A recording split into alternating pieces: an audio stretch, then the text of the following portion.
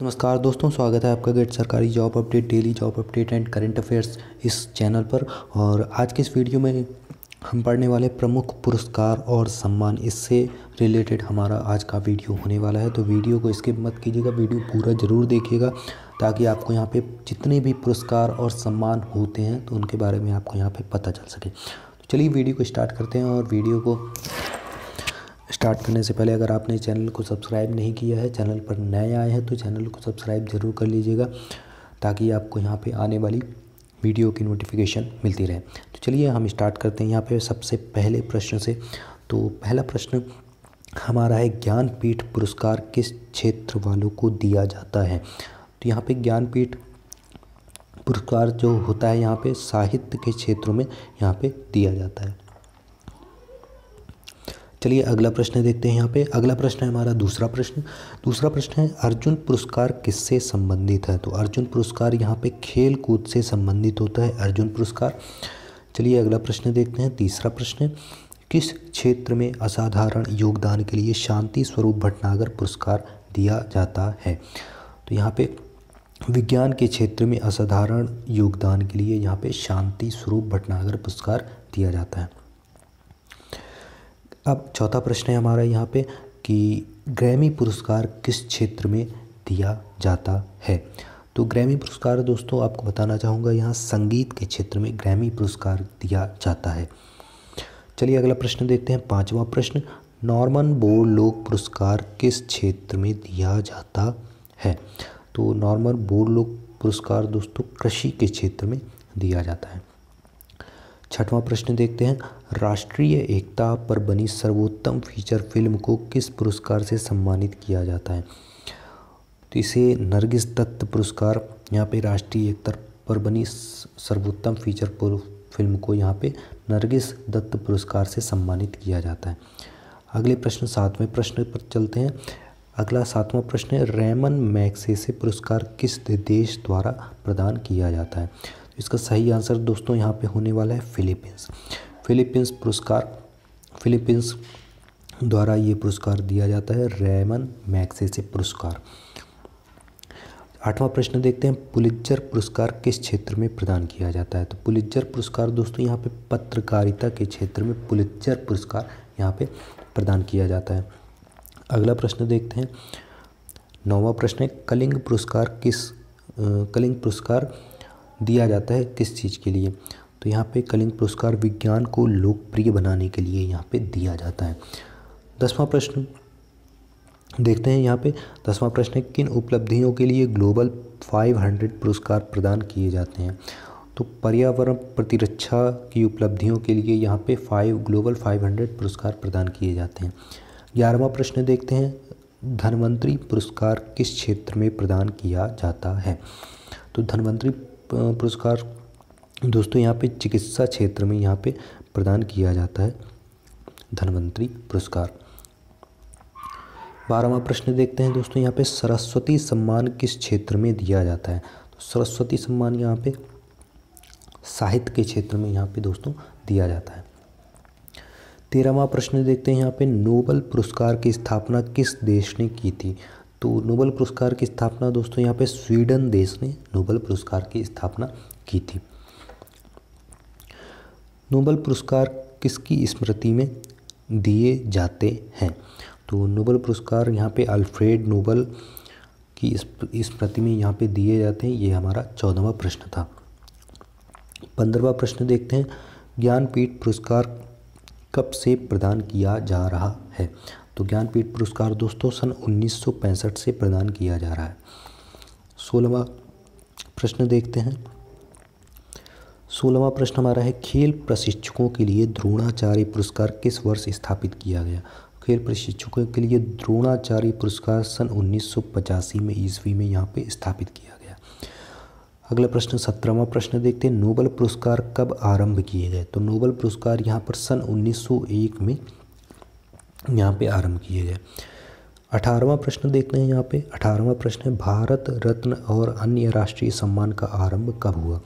तो भारत, रत्न और अन्य राष्ट्रीय सम्मान जो होते हैं तो वो सन उन्नीस सौ चौवन में इनका राष्ट्रीय सम्मान यहाँ से आरंभ हो चुका था, उन सन उन्नीस से प्रश्न नंबर 19 पर चलते हैं। सी वी रमन को किस वर्ष नोबल पुरस्कार मिला था? सो सी वी रमन को यहाँ पे सन 1930 में नोबल पुरस्कार मिला था। बीसवा प्रश्न देखते हैं। मैन बुकर पुरस्कार के लिए किन देशों के लेखकों पर विचार किया जाता है? तो मैन बुकर पुरस्कार के लिए यहाँ यहाँ पे राष्ट्रमंडल और आयरलैंड से अंग्रेज़ी के लेखक यहाँ पे विचार किया जाता है। इक्कीसवां प्रश्न देखते हैं। यहाँ पे इक्कीसवां प्रश्न है, अर्थशास्त्र में नोबल पुरस्कार किसने स्थापित किया था? तो अर्थशास्त्र में नोबल पुरस्कार यहाँ पे स्वीडन का सेंट्रल बैंक इसका सही आंसर होगा।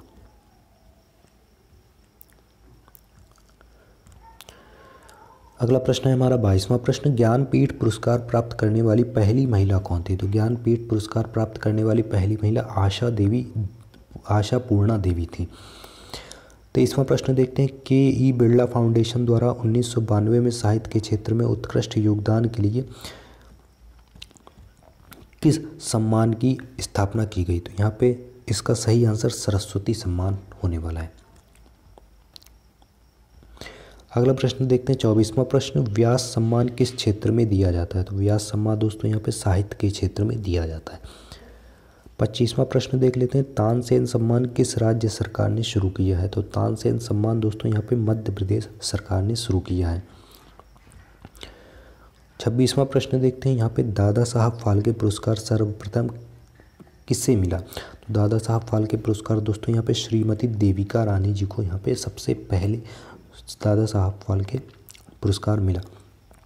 सत्ताईसवां प्रश्न देखते हैं। मैक्स एसे पुरस्कार से सम्मानित होने वाले प्रथम भारतीय कौन हैं? तो मैक्सेसे सम्मान से सम्मानित होने वाले पहले भारतीय, प्रथम भारतीय यहाँ पे आचार्य विनोबा भावे हैं।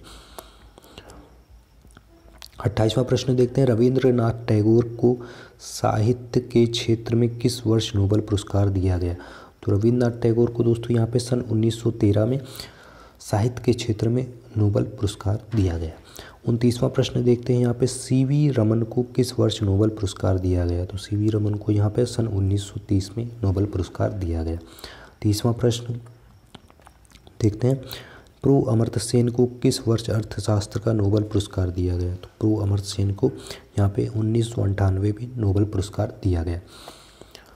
इकतीसवां प्रश्न देखते हैं। सुब्रमण्यम चंद्रशेखर को किस क्षेत्र में नोबल पुरस्कार मिला? सुब्रमण्यम चंद्रशेखर जी को यहाँ पे भौतिकी के क्षेत्र में नोबल पुरस्कार मिला था। बत्तीसवां प्रश्न देखते हैं। अर्थशास्त्र के क्षेत्र में नोबल पुरस्कार किस वर्ष से प्रदान किए जा रहे हैं? तो अर्थशास्त्र के क्षेत्र में नोबल पुरस्कार यहाँ पे सन उन्नीस सौ उनहत्तर से यहाँ पे प्रारंभ किए जा रहे हैं और ये पुरस्कार सन उन्नीस सौ उनहत्तर से प्रदान किए जा रहे हैं। अगला प्रश्न देखते हैं। तैतीसवां प्रश्न, एशियाई नोबल पुरस्कार के नाम से जाना जाता है। तो एशियाई नोबल पुरस्कार के नाम से हम रैमन मैग्सेसे पुरस्कार को भी जानते हैं। अगला प्रश्न हमारा चौंतीसवां प्रश्न, दादा साहब फाल्के पुरस्कार प्रदान किया जाता है। किस क्षेत्र में? ये सूचना एवं प्रसारण मंत्रालय, भारत सरकार के द्वारा ये पुरस्कार प्रदान किया जाता है। चलिए अगला प्रश्न देखते हैं। पैंतीसवां प्रश्न। पैंतीसवां प्रश्न है, ऑस्कर पुरस्कार प्रदान किया जाता है किसके द्वारा? तो यहाँ पे national academy of motion pictures, art एवं साइंसेस द्वारा ये ऑस्कर पुरस्कार प्रदान किया जाता है। छत्तीसवां प्रश्न देखेंगे यहाँ पे। ज्ञानपीठ पुरस्कार प्राप्त करने वाला प्रथम हिंदी लेखक कौन था? तो ज्ञानपीठ पुरस्कार प्रदान करने वाला, प्राप्त करने वाला प्रथम हिंदी लेखक यहाँ पे सुमित्रा नंदन पंत जी थे। सैंतीसवां प्रश्न देखेंगे दोस्तों यहाँ पे। सैंतीसवां प्रश्न, सरस्वती सम्मान के प्रथम प्राप्तकर्ता हैं। तो सरस्वती सम्मान के प्रथम प्राप्तकर्ता यहाँ पे हरिवंश राय बच्चन जी यहाँ पे हैं, होने वाले अड़तीसवां प्रश्न देखेंगे यहाँ पे दोस्तों, भारत रत्न से विभूषित प्रथम विभूति हैं। तो भारत रत्न सम्मान सबसे पहले किसे मिला? तो यहाँ पे डॉक्टर एस राधा कृष्णन जी को यहाँ पे भारत रत्न से प्रथम सम्मान मिला। उनतालीसवां प्रश्न देखते हैं दोस्तों, यहाँ पे उनतालीसवां प्रश्न है, मरणोपरांत भारत रत्न पुरस्कार से सर्वप्रथम किसे सम्मानित किया गया था? तो मरणोप्रथम प्रांत दोस्तों यहाँ पे भारत रत्न पुरस्कार से यहाँ पे लाल बहादुर शास्त्री जी को यहाँ पे सम्मानित किया गया था। अगला प्रश्न और अंतिम प्रश्न हम देखते हैं, चालीसवां प्रश्न। भारत रत्न से विभूषित प्रथम विदेशी हैं। तो भारत रत्न से विभूषित प्रथम विदेशी खान अब्दुल गफ्फार खान हैं, जो कि विदेशी थे।